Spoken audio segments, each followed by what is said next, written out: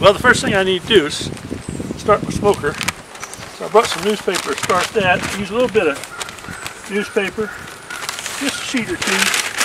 I've got a place here where I start my smoker and I can also put it out without causing a whole forest fire. So, yeah, it's always best to have a little spot where you're not going to cause a lot of damage. It's wet today, so that's not going to be an issue, but let's start a fire here. Just get this paper going.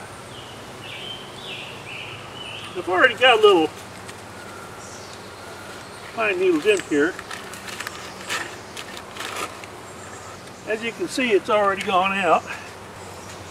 What I do to help with that is I take these little toilet paper rolls, start them. No, it hadn't already gone out. Let's see if it, nope. Let's try that one more time. Gotta get that match out of the wind, I guess. Yeah, I think we're gonna get it started now. The newspaper's starting, so I can take my little chimney here. Ah, almost went out, but no. Let's see. Yeah, it did. That's three maybe. Maybe this will make a charm. Get charm. Whoops. Start the fire over here. this thing gonna burn. Well, that's cool morning. That fire feels pretty good. I've got some pine needles that had already in the smoker and just used it for a short period of time so they're dry. We had a lot of rain lately. This one's not very dry. Put some of this one in. There.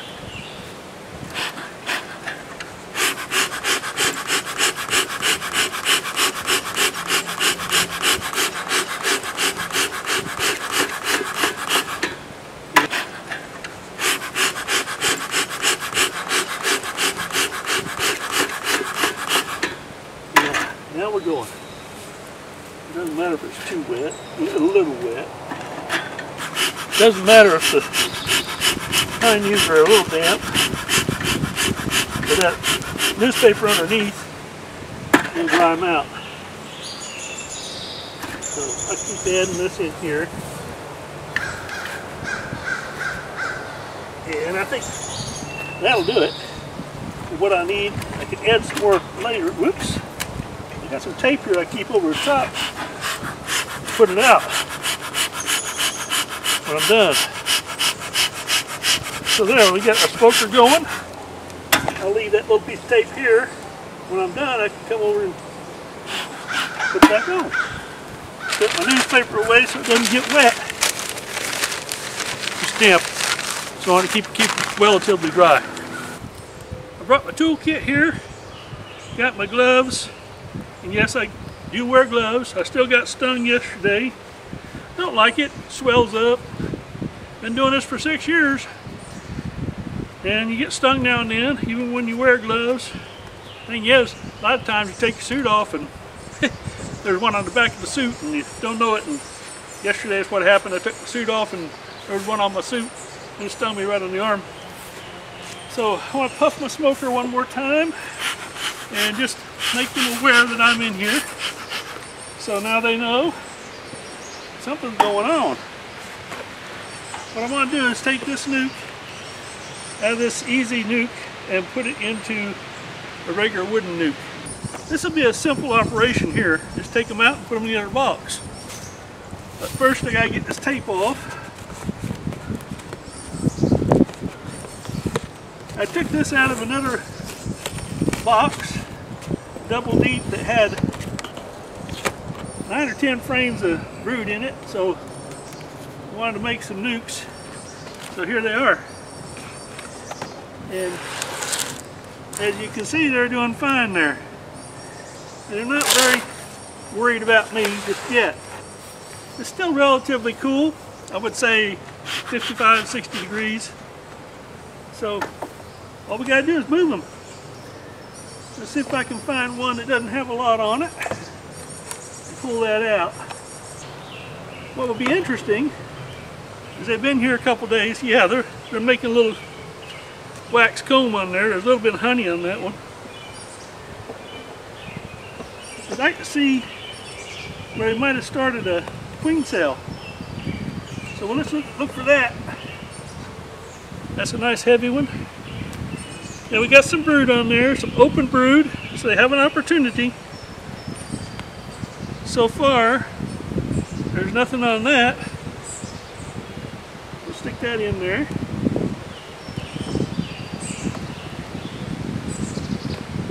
And I like the open brood. They have something to do. There's plenty of young bees here. Uh, well, there's not plenty, but I'd like to see a little more. But you got plenty of broods that should have hatch out pretty soon. Uh, there's some open brood on that too. So we got two frames of brood there, which is what you'll need for a nuc, at least.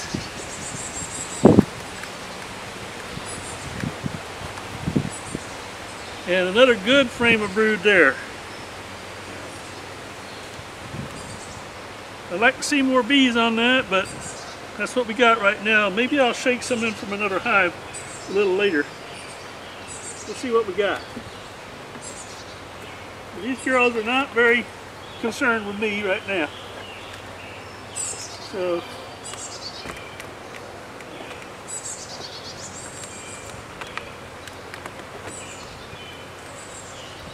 yeah, that's another frame of brood there. So they're going to have a lot of bees.